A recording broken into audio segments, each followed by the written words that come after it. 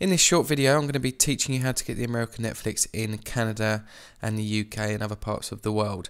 Um, as you guys may well know, that the selection in the UK and Canada isn't fantastic, um, but the Americans do get a better version of Netflix with, with more of the latest movies. So in this video, we're going to show you exactly how you can get access to the American Netflix in your country. Okay, first of all, I'm going to go over to, to my Netflix page. Okay, so as you can see on screen, this is the British Netflix. I believe it is very similar to the Canadian version. And just to prove that we are on the on the UK Netflix, I'm going to type in The Walking Dead in the search box. And as you can see, it's currently unavailable to stream. Now I'm going to show you how we can get access to the American version. Okay, what we do, we go down to System Preferences on the Mac. Now, on a Windows PC, this will be different, but I'm going to demonstrate it to you on the Mac computer. Okay, so we're going to then go to Network, and then we're going to click on our Wi-Fi. So make sure that's highlighted, and then we're going to go down to Advanced.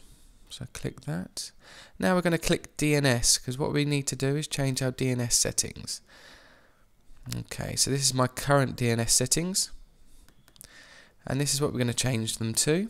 So it's 208.122.23.22. So that's our primary DNS. Our secondary DNS would be 208.122.23, but 23 this time. Okay, then you click OK and apply. We can now exit that. Now, American Netflix will not work straight away.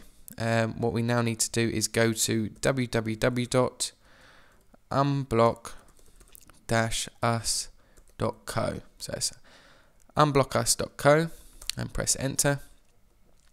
Now you're going to be coming to their website, which is a VPN website. Uh, and what this does, this gives you the power to get access to all the US content. So this means you'll be able to go on any of their TV websites and actually watch any of their programs, including like ABC, Hulu, absolutely everything. Okay, well, all we need to do is type in our email address in this box down here. And with this, you start off a one week free trial.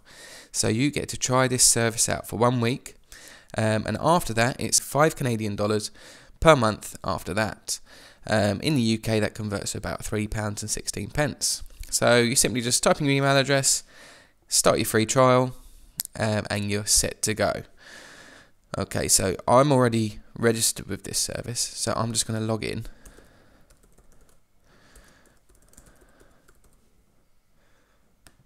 Okay, so while that's loading. Okay, you can see this is all just highlighted in green. That's that means that I'm all set to go. My DNS settings have been changed and I'm, I'm ready to go. So now we are going to go back to Netflix.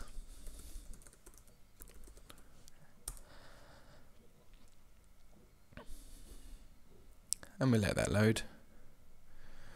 Now you can see we have access to the American version of Netflix. And what I tend to do is I keep my old DNS um, settings on on paper, so I can just literally change my DNS back, uh, settings back to the UK version, so I can actually get access to the UK version, and then um, go back to the US version. So I skip between both because um, there's some things that come out in the UK that don't come out in the US um, so make note of that, and that's something you'll be able to uh, benefit from as well. But just to prove that we are on the American Netflix, we're going to type in The Walking Dead again.